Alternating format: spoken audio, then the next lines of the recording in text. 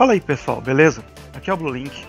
Eu tô vindo aqui com um novo vídeo para mostrar sobre um golpe da Catarina que ontem eu fiz um vídeo falando sobre execução em jogos de luta e para quem não tiver assistido, tá na, vou colocar na descrição do vídeo, vai aparecer agora no cards aqui do lado para você poder assistir. E se você não tiver assistido, assiste lá pra vir aqui.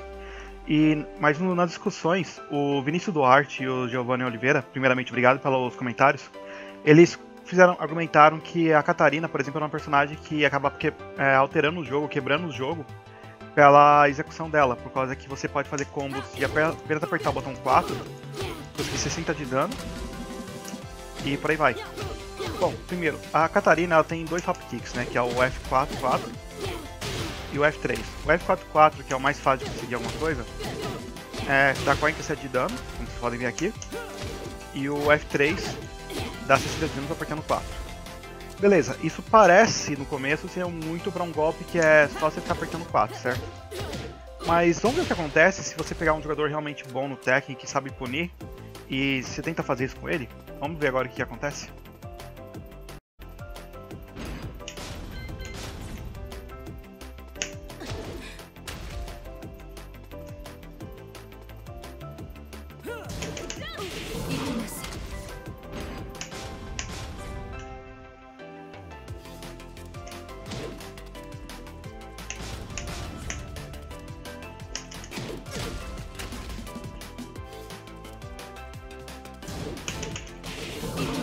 Como vocês podem ver, tanto no caso do F3 quanto no F4, os dois são menos 13. Então é possível, pelo menos com a Kazumi, que é a personagem que eu sei punir direito, conseguir 36 de dano.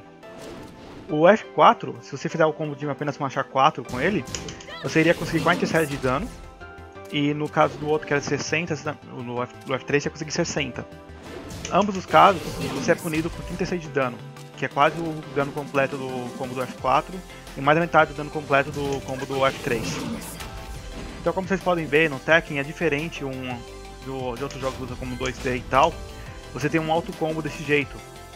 Porque o starter dele, o, combo, o, o ataque que inicia o combo, ele não é algo muito positivo, safe, o que seja, ele é um safe.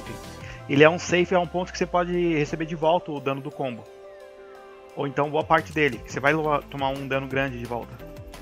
Então é isso, tipo, a Catarina não é um personagem que fica mais quebrado, é melhor ou pior só por causa do, desse combo, desse ataque. Porque se um jogador experiente perceber isso e defender esse ataque, ela vai tomar um dano grande de volta. Por exemplo, com a Kazumi 36, com outros personagens pode ser mais ainda. Eu sei que tem personagens que podem conseguir dar um dano de volta completo de volta nela, tipo um dano equivalente a 60 nela de volta. Então é isso, tipo, se um cara quiser jogar de Catarina, ele não pode apenas depender desse auto combo, ele tem que aprender todas as outras mecânicas do jogo. Tem que saber fazer pressão, neutro, corean backdash, por aí vai. Facilitar apenas um ponto da execução da personagem não deixa a personagem mais fácil de aprender alto nível. Em alto nível, na verdade, não quer significar praticamente nada. Por causa que todo mundo em alto nível já vai saber seus combos, então vai ser apenas 60 de dano, que é uma coisa que quase todo mundo consegue fazer a partir de um hop kick. Então é isso. Sou o Blue Link, Obrigado por ter assistido aqui o vídeo e até a próxima, pessoal. Falou!